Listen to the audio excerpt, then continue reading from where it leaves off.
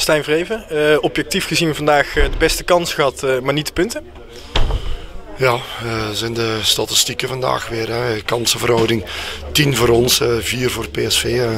zij maken er 2 van de 4 af, dat is 50 procent. En wij hebben er 10 in een uitwedstrijd, dat is wel erg veel. Dus qua zakelijkheid, volwassenheid hebben wij niet onze job gedaan.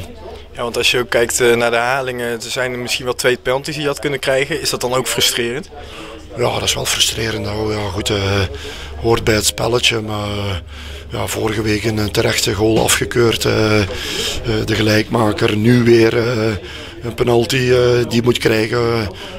wat de kans is op 1-1. Dat zijn allemaal momenten. Maar goed, onze momenten zitten niet, zijn niet voor ons. En, en de momenten dat we tegenkrijgen straft de tegenstander af. Dus we hebben wat dat betreft veel werk. Ik neem aan dat het ook lastig is voor het moraal van het team als je dit soort dingen tegenkrijgt. Ja, goed, maar daar moeten we leren mee omgaan. Hè. We zijn een jonge ploeg. Uh, dat is natuurlijk zuur. En uh, je wil niet in de flauw komen van, van tegenslag. Maar daar moeten wij mee omgaan. En, uh, wij moeten vrijdag opnieuw weer proberen een goede prestatie neer te zetten en te vlammen tegen Volendam. Als je dan naar deze wedstrijd kijkt, wat, wat vond je dan heel goed gaan en wat vond je wat minder? Nou, ik vond ons bij momenten gewoon goed voetballen. Goed, we hebben tien kansen gekregen, dus uh, we zijn zeker tot, tot, tot aanvallend voetbal kunnen komen. We hebben in principe weinig weggegeven als je maar vier kansen weggeeft. Maar daar zijn twee dodelijke counters bij, ja, dan, uh, dan doe je het niet goed wat dat betreft. Dus, uh, maar goed, ik heb een ploeg gezien die ervoor ging. Nogmaals, maar het gaat en en het, draait om het resultaat op, op, op dit niveau. Dus, en daar doen we het niet goed. Want als je kijkt naar uh, Dijkhuis met dezelfde wedstrijden en uh, jij met dezelfde wedstrijd, heb je één puntje minder gepakt. Dus ongeveer hetzelfde resultaat.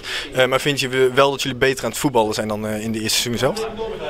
Ja goed, maar dat zou toch belachelijk zijn en hypocriet als ik nu ga roepen dat wij zoveel beter zitten te voetballen.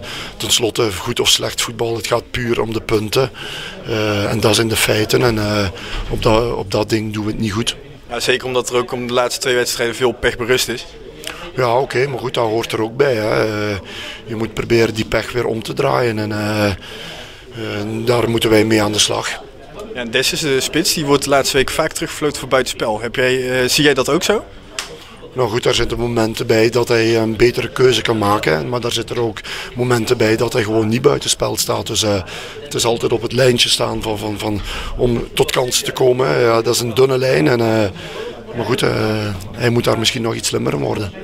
Er zitten natuurlijk veel jongens van eh, City bij. Nou, bij ons op de website uh, krijgen we veel reacties uh, dat City ongeveer de opstelling zou kunnen bepalen. Of dat er afspraken zijn. Is dat ook zo? Nee. Ja goed, als dat moest zijn, dan, dan ben ik morgen geen trainer meer. dat is gewoon belachelijk. we hebben een aantal spelers van City die gewoon zeer goed zijn en die terecht in de basis staan. En als ze het niet verdienen, dan staan ze niet in de basis. Net zoals mijn 25 andere spelers. Ja, want Barker weer eerste keus uh, in het elftal. Uh, waarom Barker en geen Ayupong? Uh, waarom Barker en wie niet? Ayupong? Die was geblesseerd. Excuus. en Barker was een van onze beste spelers vandaag. vrijdag dus drie punten en een mooie carnaval voor het NAC Nou goed, als het zo makkelijk was zoals jij het zegt, dan zou ik er onmiddellijk voor tekenen. Maar ik wil opnieuw een ploeg zien die er vol voor gaat en, en drie punten probeert te pakken. Laten we het open. Alsjeblieft.